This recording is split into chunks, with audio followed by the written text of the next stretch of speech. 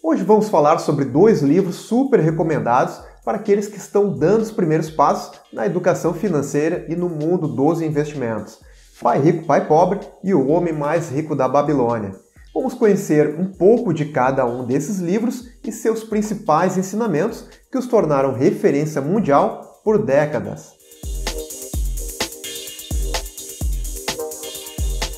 Bem-vindo ao canal Monetizando. Hoje então abordando dois livros que são referência em educação financeira. Pai Rico, Pai Pobre e O Homem Mais Rico da Babilônia. Eu diria que educação financeira é muito mais do que aprender a poupar, cortar gastos e conhecer os diferentes tipos de investimento. Educação financeira é, antes de tudo, uma mudança comportamental em relação ao dinheiro, a criação de hábitos mais saudáveis a fim de proporcionar bem-estar e segurança, hábitos e conceitos com o poder de impactar muito mais a sua vida do que saber qual a ação mais barata do momento ou fundo imobiliário que está pagando mais dividendos. Por isso, estes dois livros são muito recomendados para você que está iniciando ou se despertando para a educação financeira e o mundo dos investimentos, como forma de melhorar de vida e prosperar financeiramente. Vamos ver primeiro um dos mais conhecidos do gênero, Pai Rico, Pai Pobre, de Robert Kiyosaki. Pai Rico, Pai Pobre é um dos livros de finanças pessoais mais conhecidos em todo o mundo. Este é um best-seller mundial com mais de 30 milhões de cópias vendidas. O autor é um conhecido empresário norte-americano. No livro, ele transmite de forma clara diversos conceitos relacionados a dinheiro e educação financeira, a partir de suas experiências pessoais. Ao longo de sua trajetória, Robert recebe orientações financeiras de seu próprio pai, o pai pobre, e do pai de seu amigo Mike, o pai rico. Embora ambos os pais sejam inteligentes e tenham sido bem-sucedidos em suas próprias carreiras, eles carregam visões muito distintas quando se fala em lidar com o dinheiro. A partir destas diferenças de pensamento, o autor reflete sobre o preparo da mente de pessoas bem-sucedidas e daquelas com menor controle sobre as finanças. Talvez o principal dos ensinamentos que o autor traz é o de diferenciar o que são ativos e passivos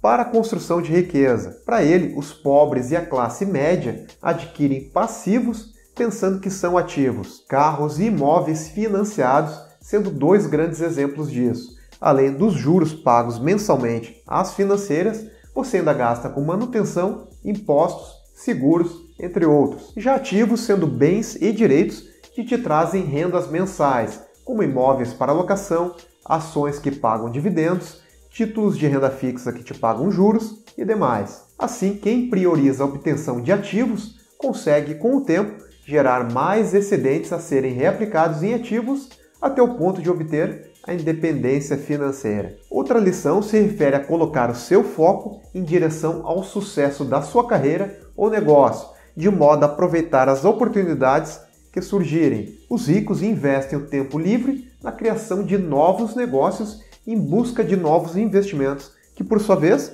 possam gerar mais dinheiro. Enquanto que os pobres, além de desperdiçar dinheiro em passivos, também desperdiçam seu tempo com inutilidades. Antes de falarmos do próximo livro, quero te apresentar brevemente um aplicativo muito bom e que tenho certeza que irá gostar que é o Idiomos. Idiomos é um aplicativo que você acessa resenhas dos melhores livros, não só de finanças, mas também de desenvolvimento pessoal, marketing, psicologia, tecnologia, biografias, entre outros. E o mais legal é que você pratica inglês ao mesmo tempo que estuda ou se diverte.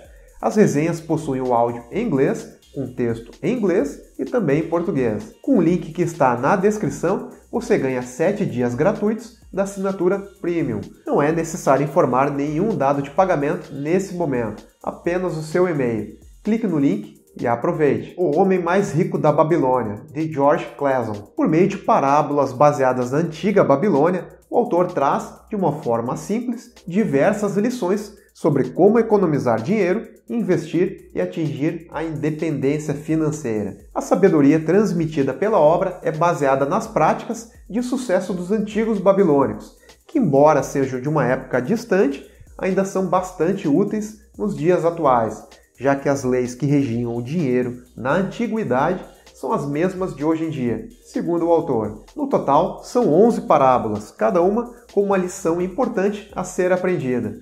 O segredo do sucesso deste livro, ainda nos dias de hoje, é apostar em conceitos básicos como fundamentais no sucesso para alcançar os objetivos financeiros. Em uma dessas parábolas, intitulada de As Cinco Leis do Ouro, estão os principais ensinamentos trazidos no decorrer do livro.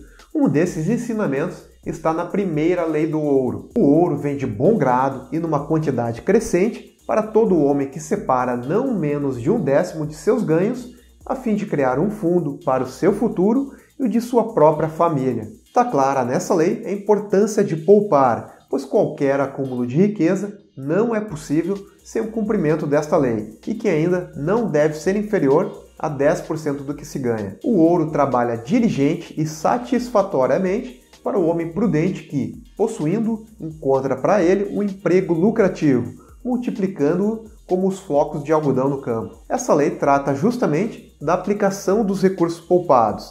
Antigamente, a ação da inflação talvez não fosse tão evidente, mas hoje, investir não é somente para receber os juros do seu dinheiro, mas também uma necessária proteção contra a perda do poder de compra do seu dinheiro. O ouro foge do homem que o emprega em negócios ou propósitos com que não está familiarizado ou que não contam com a aprovação daqueles que sabem poupá-lo. Aqui fica evidente o cuidado que devemos ter em relação a onde aplicaremos o nosso dinheiro poupado você conhece bem o investimento onde está colocando seu dinheiro?